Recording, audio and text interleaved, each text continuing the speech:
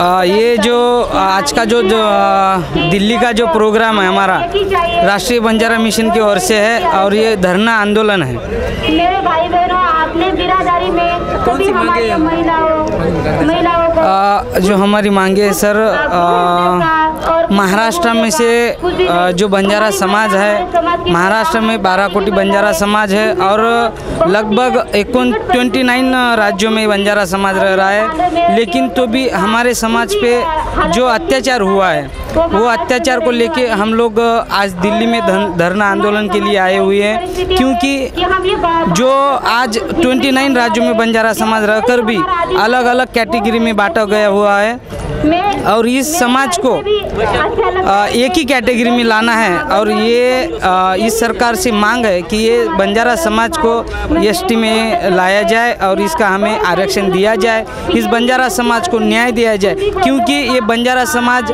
आज तक पूरे देश में व्यापारों का काम किया है, लेकिन इस भारत सरकार को हम लोग इस मोदी सरकार लोग मोदी सरकार को हम बताना चाहते हैं कि आप हमें न्याय दें।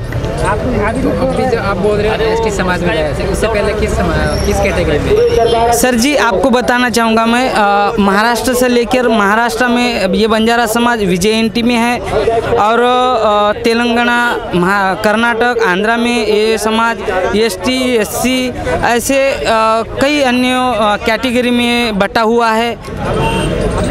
तो पूरे राज्य में से ये समाज विदाउट कैटेगरी में से लेके एक ही कैटेगरी में सबको दिया जाए ऐसी मांग है। अपने दिल की गहराइयों से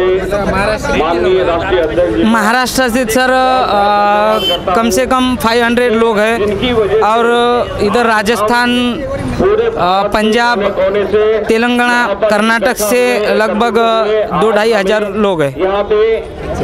आपस में मिलने का सौभाग्य प्राप्त हुआ। सरकार से मांगे क्या है अब? लास्ट मांगे क्या? है यहाँ पर लास्ट मांग सरकार से यही करना चाहते हैं सर कि बार बार जब सरकार चुनाव में आती है और हर एक सरकार का जो नेता रहता है चुनाव के बाद में हम लोगों को आके आश्वासन देता है कि यहाँ का बंजारा समाज मेरा भाई है यहाँ की महिलाएँ मेरी बहन है माँ है लेकिन वो हम लोगों को आज तक यूज़ की करते आए हुए हैं। हम इस सरकार को ये कहना चाहेंगे कि अगली बार हम आपके फसवे में नहीं आएँगे, आप हमें यूज़ नहीं करेंगे।